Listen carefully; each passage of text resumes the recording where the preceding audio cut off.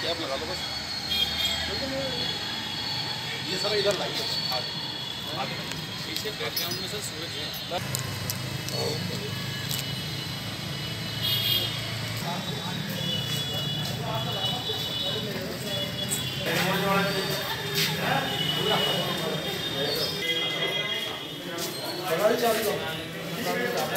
ठीक है ऊपर छः सात मुकदमे दर्ज है one seventy four A I P C का भी दर्ज है और ये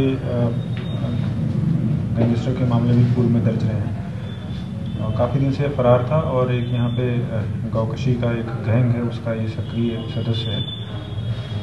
इसके ऊपर पच्चीस हज़ार रुपये का इनाम था, इसको पकड़ा गया है और गिरफ़्तार करके इसको जेल भेजा गया है। सर बताया जा रहा इसका एक भाई भी है जिस पर सर चालीस मुकदमे हैं।